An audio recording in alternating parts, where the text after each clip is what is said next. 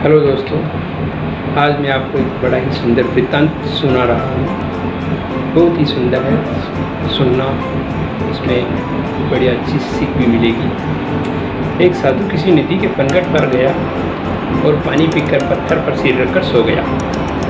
पनघट पर पनिहारी आती जाती रहती है तो पनिहारियाँ आई वहाँ। आते ही साधु सो रहे थे तो पनिहारी ने कहा हाँ हाँ साधु हो गया, फिर भी तकिए का मोह नहीं गया। पत्थर का ही सही, लेकिन सर तो है, रखा तो है। पनिहरी की बात सुन ली, और उसने तुरंत पत्थर फेंक दिया। साधु पत्थर फेंक दिया, साधु ने तो दूसरी बोली, साधु हुआ, लेकिन खिंच नहीं गई, अभी रोश नहीं गया, तकिया फेंक दिया। तब साधु सोचने लगा, अब वह क्या करे? तब तीसरी बोली, बाबा, ये तो पनगट है। यहाँ तो हमारी जैसी पनिहारी ने आती ही रहेगी, बोलती ही रहेगी।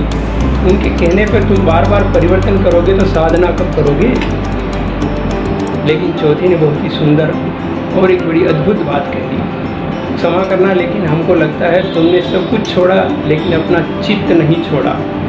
अभी तक वहीं का वहीं बने हुए हैं। दुनिया पाखंडी कहे तो कहे, तुम जैसे भी हो हरि नाम लेते रहो। सच तो यही है। दुनिया का तो काम ही कहना है। दुनिया क्या कहे उस पर ध्यान दोगे तो अपना ध्यान नहीं लगा पाओगे। जय श्री राम।